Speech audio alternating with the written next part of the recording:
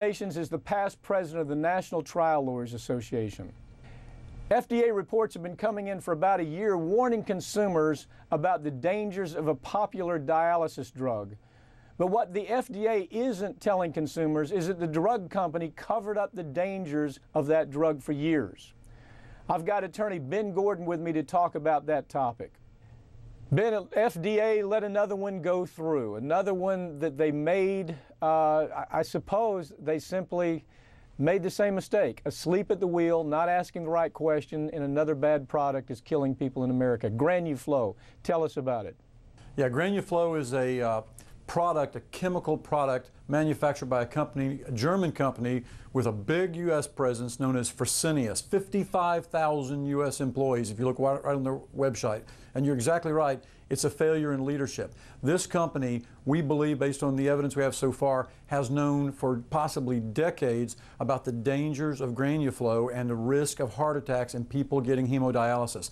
In a nutshell, they produce the acid portion of a product that goes into a filter to help filter these people's blood who have uh, problems diabetes and other medical problems and need dialysis, the acid portion, known as a diacetate, unfortunately boosts the bicarbonate that they have in their body so high that they end up with an abnormal pH. The pH level rises to such high levels it becomes toxic and they end up dying of a heart attack. And, okay, and isn't the ugly, the ugly, there's so many ugly parts to this story, uh, but tell us the, the, the company got an, in, an internal Im, uh, a memo. The internal memo was very clear.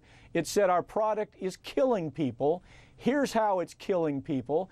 And they kept that quiet. Did I That's get right. that right? That's right. They knew before that memo came out that they had a problem, that person finally, the whistleblower, did the right thing and disclosed the evidence in 2011. And not until 2012 did the company finally realize the cat is out of the bag. We've got to come clean and tell people before we get into really hot water. But the reality is, they knew long before that 2011 memo that this product was dangerous, that it was boosting levels of bicarbonate too much and causing these people to have heart attacks. And virtually the only reason they came forward was because the whistleblower forced them to. The whistleblower actually disclosed the internal memo.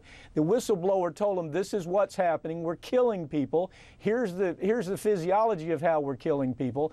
And this company, and talk about who, what is this company? Who are they? Well, Fresenius is a German-based company with you know worldwide. They, they make billions of dollars, just like so many of these companies, producing these products to, to supposedly help cleanse the blood of these patients when in reality what they're doing is giving these patients a toxic overload of the bicarbonate portion of the solution. And why did they do it? This company with 55,000 U.S. employees gobbling up other companies of this type in the United States has done everything they can to simplify their procedure and cut costs in a way that they can save themselves money, boost the bottom line to themselves without protecting patient safety. What's shocking about a PAP and that shows a failure of leadership is if you go on their website and you look at who they say their executive leadership is, guess who's number one? A lawyer. Guess who's number two? An accountant. Guess who's number three? A chemist. They don't even have doctors. They're not even talking about, you know, a company that shows as their own proud leadership medical doctors who, the one doctor they list on their website on the first page as their executive leadership is a guy they just hired three years ago because they're trying okay. to clean up their image. So here they come up with a product that, if I got the numbers right, Ben, correct me if I'm wrong, but if this Granuflo has, uh, has the ability to cause a six to eight fold increase risk of sudden cardiac death. Is, is that correct? That's right, and the, the numbers are, are, staggering. And the, the, reality is that based on the patents that they had applied for and that they knew about in their 510K, it's another one of these 510K procedures where they skirt the more onerous regulatory route so they can get this product to the market quickly, showing their own files that at least 10 years ago, they knew or should have known that this product had the propensity to boost these bicarbonate levels, become cardiotoxic to the people. Six to eight times the risk of, uh, of, of, cardiac sudden death.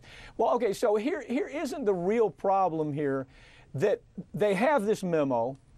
And rather than sending it to doctors, which they could do with a Dear Doctor letter, rather than having any publication about it, rather than having direct communication with the patients, they know exactly who the patients are, exactly who the doctors are, they know exactly where the product's being used. Rather than doing that, they put it in their file cabinet and they cover it up. How often do you see that in this industry these days? Well, that's exactly right, Pap. I mean, it has become endemic in this industry that companies who have inside information and knowledge about clinical safety issues and problems for patients and problems for doctors who are treating those patients, instead of letting those kinds of data points be central in their focus, like Hippocrates said, to do no harm, instead of focusing on those things, they stick those in a file cabinet and the regulatory people get no say so on what happens. Instead, the marketing people take over and say, no, that's bad for business business, we, we're not going to talk about that.